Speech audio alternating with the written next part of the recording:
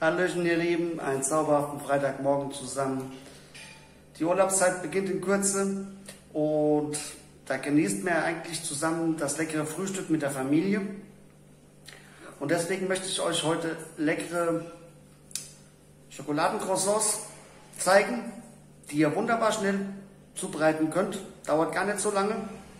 Es ist ein einfaches Rezept, eine einfache Methode, wie ich die herstelle und seid gespannt, das ist Kochliebe XXL, das ist mein Kanal.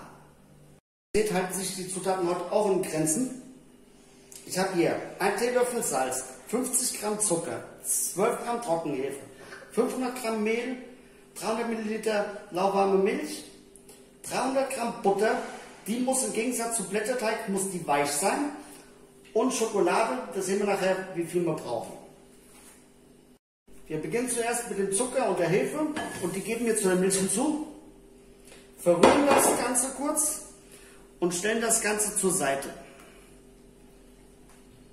Nun geben wir das Salz zu unserem Mehl und verrühren das Ganze, wie ihr das schon kennt von mir. Nun kommt die Hefe hinzu. Auch den Zucker hier drin nicht vergessen, das ist ganz wichtig. Wir verrühren das Ganze gut und dann kneten wir alles zu einem wunderbaren Teig zusammen.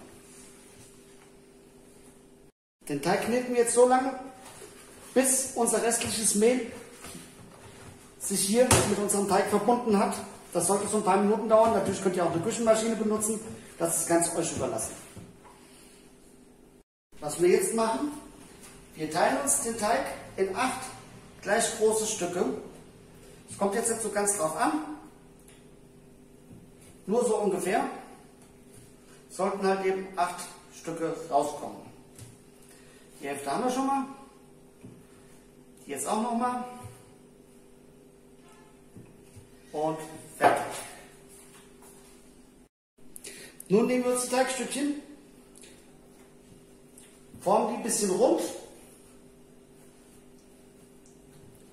und schleifen wir uns so ein bisschen ab.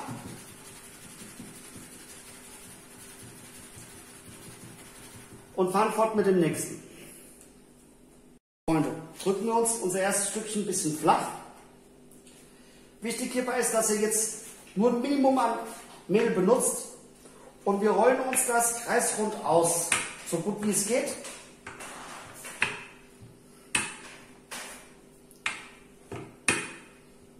Und so groß wie es hinbekommt.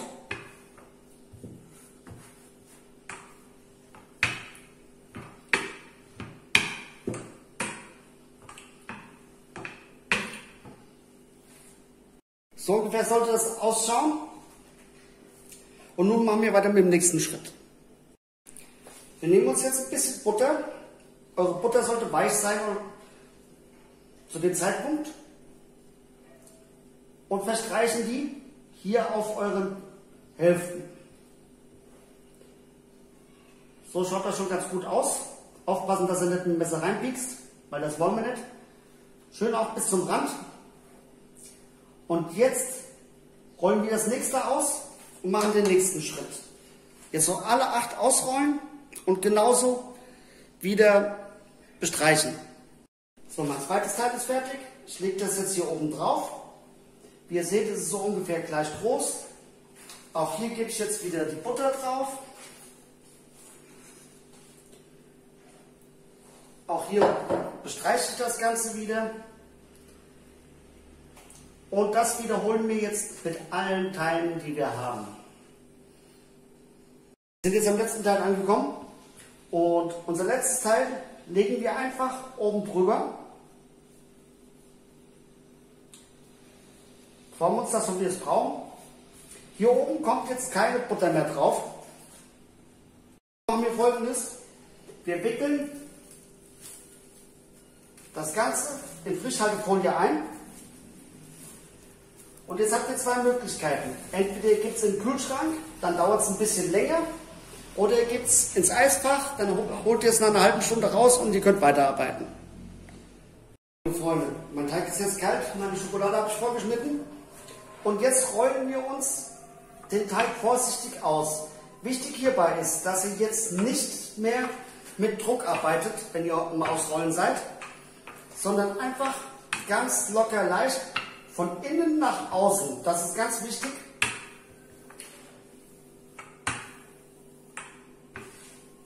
Ich rolle das jetzt mal fertig und dann zeige ich euch, wie es ausschaut oder ausschauen soll, wenn ich durch bin. Ich habe es jetzt so einigermaßen rot bekommen und jetzt nehmen wir unseren Pizzaschneider. Wer keinen hat, der nimmt ein Messer und wir trennen uns hier acht gleich große Teile raus.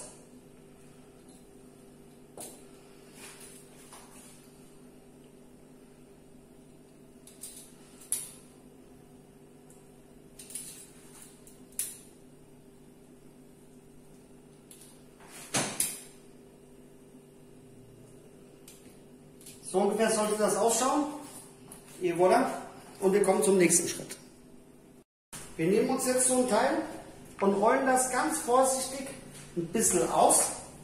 So nach allen Seiten. Aber wie gesagt, ohne Druck arbeiten.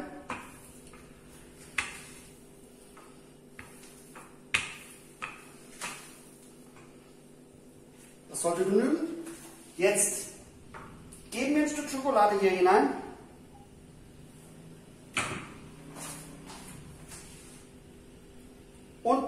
Uns das Ganze vorsichtig ein. Ziehen das untere Ende nach oben und legen das Ganze mit dieser Seite hier, ich hoffe ihr könnt das sehen, mit dieser Seite hier legen wir nach unten.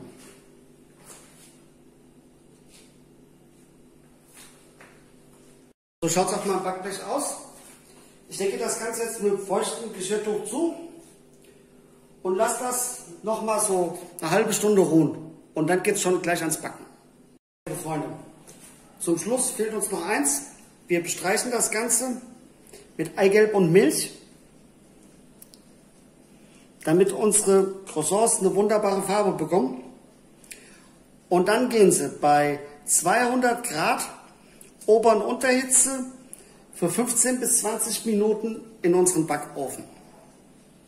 So, liebe Freunde, das ist das Ergebnis.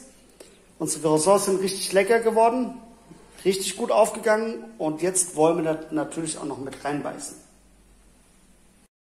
Jetzt kommt natürlich die obligatorische Probe. So schaut es aus.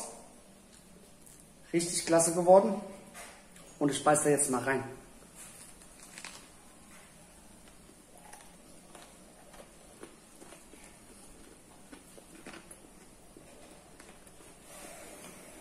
Mhm. Unheimlich lecker. Ist eine tolle, schöne, schnelle Variante. Kann ich euch echt empfehlen. Backt's nach. Von mir war's das für heute. Ich wünsche euch ein sauberhaftes Wochenende. Wir sehen uns am Dienstag wieder. Habt eine tolle Zeit. Macht's gut.